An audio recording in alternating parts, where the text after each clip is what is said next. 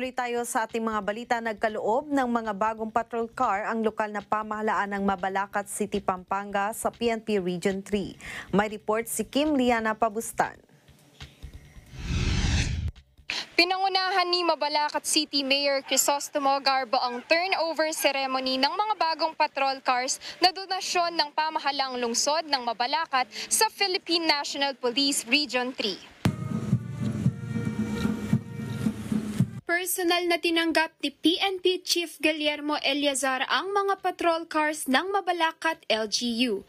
Kasama din sa ginanap na seremonya sina Pampanga Governor Dennis Delta Pineda at PNP Regional Police Office 3 Director PB General Valeriano De Leon.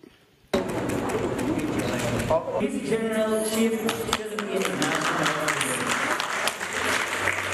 Ang 23 police mobile na ito ay magsisilbing suporta at tulong sa Philippine National Police sa pagpapatupad ng mga batas na magpapanatili sa kaligtasan, kaayusan at maging sa pagtitiyak ng kapayapaan sa bawat syudad ng Pampanga. Dahil dyan nagpahayag ng pagpupuri ang hepe sa naging pagtutulungan ng mga local government units. Napakaganda at pinakita natin sa pagkakataong ito, itong tulungan ng ating pulis at ng ating mga stakeholders, particularly ng ating local government units.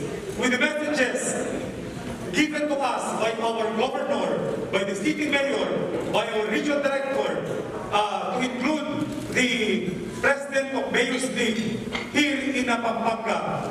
Nakita natin kung paano ang tulungan ay magbibigay ng mas epektibong paglilingkod ng ating mga kapulisan. Kami po ay lubos nagpapasalamat sa ating pong local government units, sa ating gobernador, sa ating mga alkalde, and particular sa City Mayor ng Mabalacat, City Police Station, or Mabalacat City Government, sampung ng kanyang ng members ng konseho sa ipinakitang kontribusyon o pagtulong sa ating kapulisan. Maraming salamat po.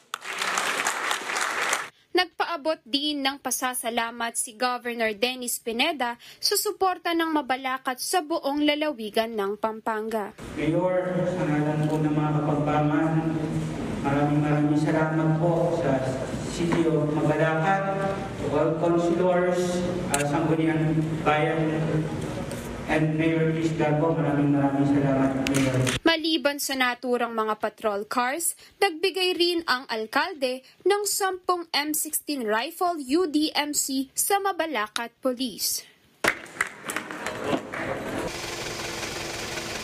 Ito ay magiging malaking tulong sa mga gawaing isinasagawa ng kapulisan sa pagpapanatili ng katiwasayan sa buong Central Luzon. Mula rito sa Mabalacat City, Pampanga, Kim Liana para sa Eagle News, we live in interesting times.